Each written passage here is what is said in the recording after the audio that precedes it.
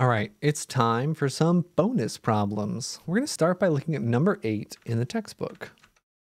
So number eight says, find all solutions exactly on the interval 0 to 2 pi. So exactly on the interval 0 to 2 pi. And number eight specifically is tangent of theta equals negative 1. So for sine and cosine, this one required the unit circle. This was a quadrantal angle. But for tangent, remember tangent is equal to 1 at pi over 4. So this is going to have a reference angle of pi over 4. And we need to look at what two quadrants tangent is negative in. First and third. This is going to be true. Sorry, second and fourth. This is going to be true with a reference angle of pi over 4 in the first, second quadrant. That's 3 pi over 4. And a reference angle of pi over 4 in the fourth quadrant. 7 pi over 4. These are two answers, and you can check with Desmos.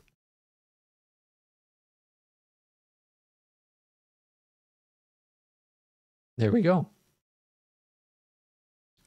Let's look at number 12 next.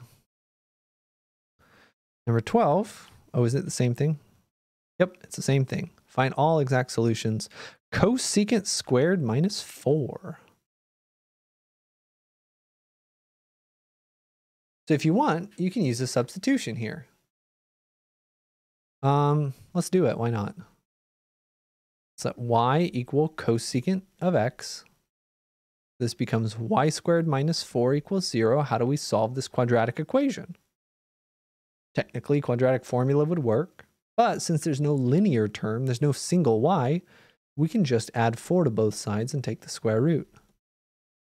When you take the square root of both sides, though, don't forget your plus or minus.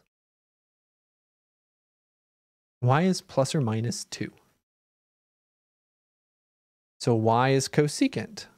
So this is going to give us that cosecant of x is equal to positive 2, or cosecant of x is equal to negative 2, plus or minus. We have to solve both these equations. Now, if you're a whiz at cosecant, power to you. I'm going to change things into sines. If the reciprocal of sine is equal to 2, that means that sine is equal to the reciprocal of 2. You could cross multiply. There's a couple of ways of saying this. And similarly, this other equation becomes sine becomes negative 1 half. We can solve these. When is sine equal to positive a half or negative a half? Well, sine's 1 half with a reference angle of pi over 6.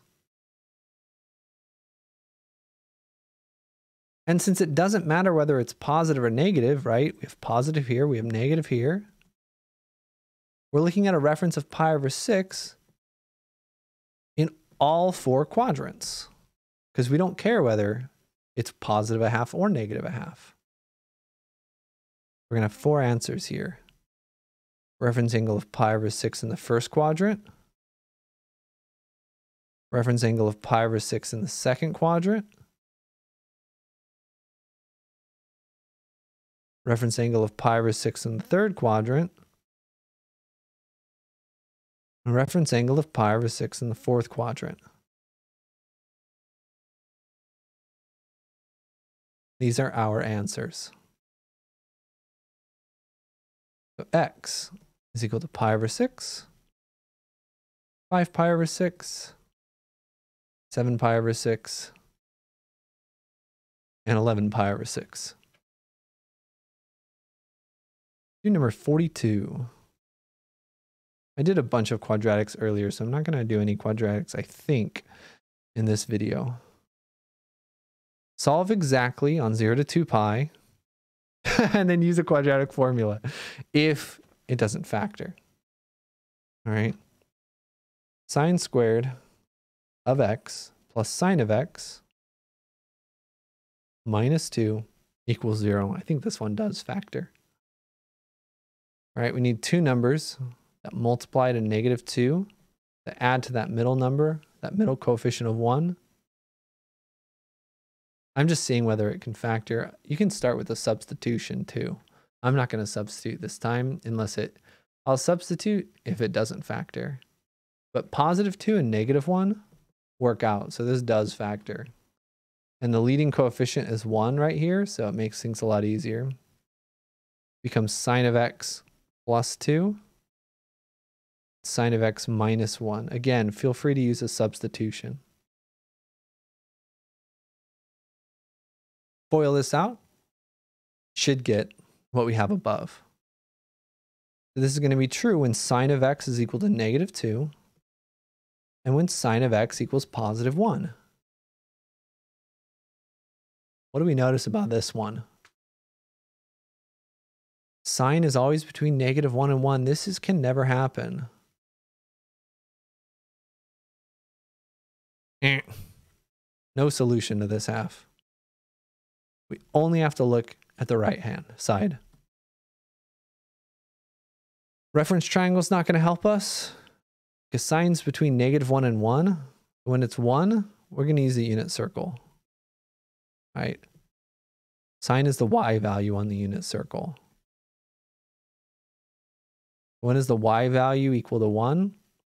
Right here at pi over 2.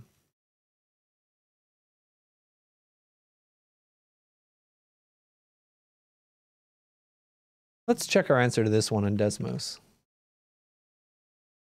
We're looking at the equation y equals sine squared of x plus sine of x minus 2, I believe. And we're curious, when is this equal to 0? In the interval from 0 to 2 pi. Only right here at pi over 2.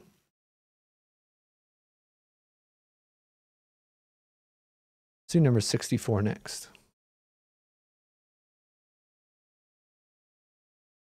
All right, it's a big one. Find exact solutions and look for identities. 64 says tangent of x is equal to 3 sine of x.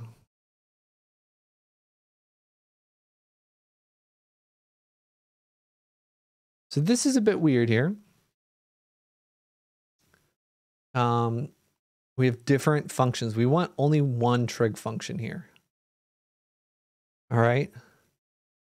So let's get everything on the same side. Let's subtract out tangent of x. Take 3 sine of x minus tangent of x equals 0. Let's put everything in terms of sine.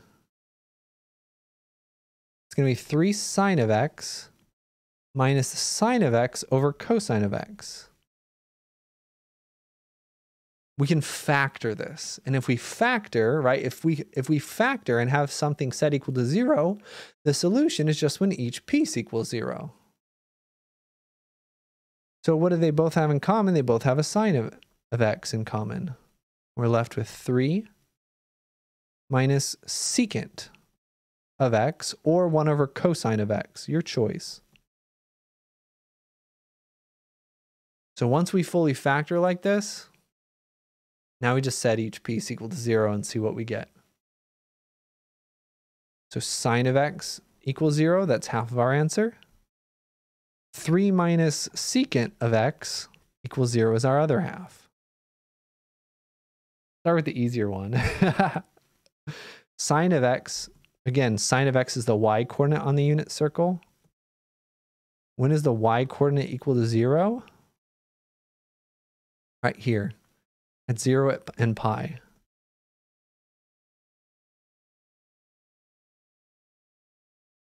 The other one's a little bit more involved. Let's add 1 over cosine of x to both sides.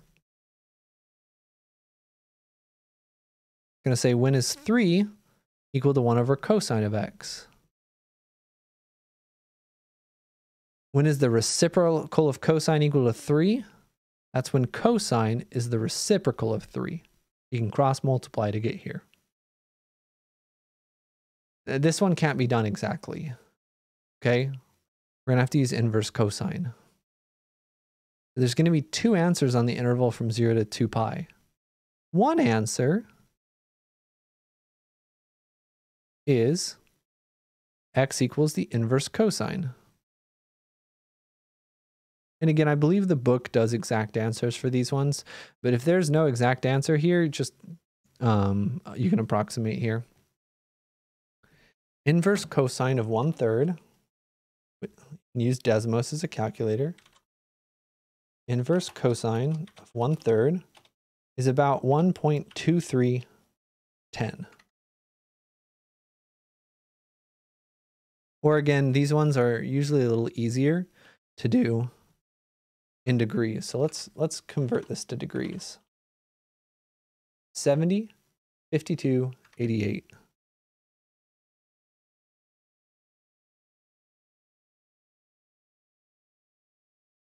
That is one of our answers. 70 degrees. That's when cosine is positive a third. What other quadrant is cosine positive in? About 70.5 degrees. Well, the other quadrant that cosine's positive in is the fourth quadrant. So that'll be 360 degrees minus at 70.5288. those are going to be our four answers. So 0, pi, 70.5288, and the last one, just 360 minus this angle. 289, 4712.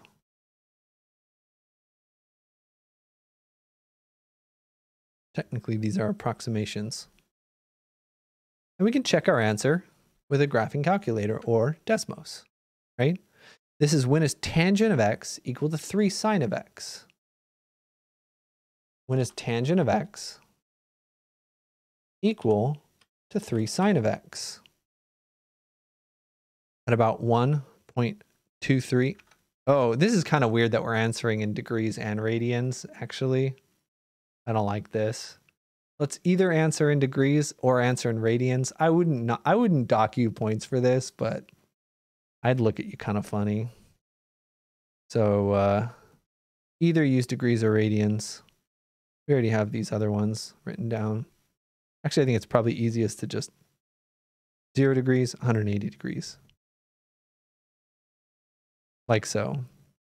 So we got 0 and pi for checking our answers. Yep, 0 is right here. Pi is right there. And then we also had 1.23 radians. Good, 1.23 radians. And this other one should be 2 pi minus 1.23. You could check that this, that this one checks out too. These are all the solutions where these graphs cross. Let's do number 90.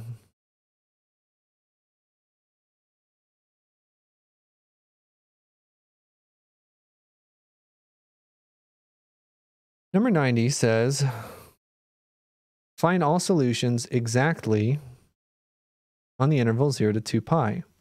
And I think actually for some of these, I told you that you can approximate I actually want to double check on this one before I do it. I want to make sure I'm doing it the way I told you. Yeah, on these ones, I say use a calculate calculator or Desmos to quickly solve. So this one, when is the sine of 2x over 2 cosecant squared equal to 0? Sine of 2x divided by 2 cosecant squared of x, when is that equal to 0? Well, Desmos is going to be very nice. 0, pi over 2, pi. Ooh, this is a nice answer. 0, pi over 2, pi, and 3 pi over 2. Great. All right, that's where we're going to be finished on this problem. Again, x equals 0, pi over 2, pi, and 3 pi over 2. The reason why is a really nice identity that we didn't really talk about. Again, using Desmos. Last problem of this video, let's look at 104. 104 says, find a solution algebraically and a calculator to verify the results. Round the answer to the nearest tenth of a degree. A person does a handstand with their feet touching a wall. I got this. I got this picture. Ready for this? Handstand. With their oh, with their feet touching a wall. Uh okay. Nothing to worry about. We got a really nice picture right here.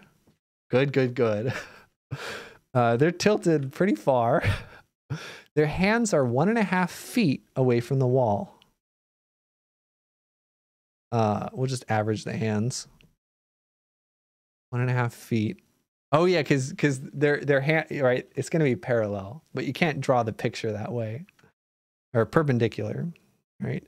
The person six feet tall, and let's assume they're straighter than this.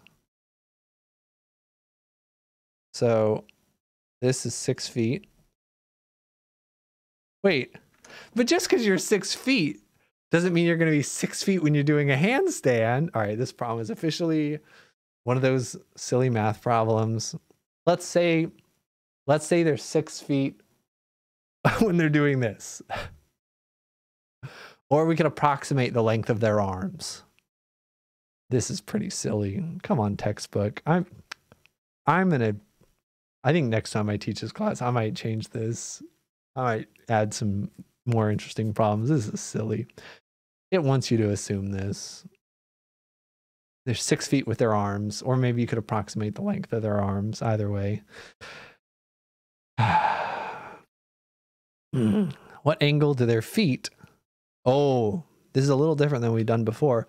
What angle do their feet make with the wall? That's what we're curious about. So we're relating an angle with its opposite and the hypotenuse. That's going to be sine. Sine of theta is 1.5 over 6. The theta is going to be the inverse sine. That actually simplifies down to 1 fourth. And rounded to the nearest tenth of the degree, inverse sine of 1 fourth. Convert it to degrees. 14.5 degrees. Okay. And there we go. That's what it wants. It says use a calculator to verify the result, but you need to use a calculator to, to do it in the first place. Again, these are one of the downsides to a free textbook. You know, there are fewer resources to go into making a free textbook than there are for paid textbooks, but this is what the problem is wanting you to do. I'm judging the book though, but it's okay. It's free. That's awesome. And people like us, we can help them make it better by sending feedback and stuff like that, which I do pretty regularly. So OpenStax is awesome. I don't want to get angry at it too hard because it's really nice to not have to buy a $200 book. All right. Anyway, have a great day. Let me know if you have questions, please, especially on some of the some of these, all of these especially on everything. Goodbye.